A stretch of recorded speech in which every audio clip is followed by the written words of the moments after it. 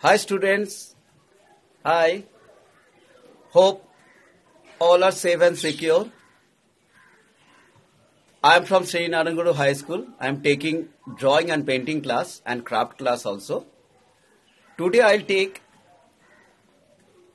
drawing and painting class only for 7th and 8th standard students.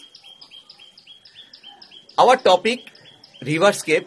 First I will show you how to draw with a pencil and then I'll show you how to paint. Okay?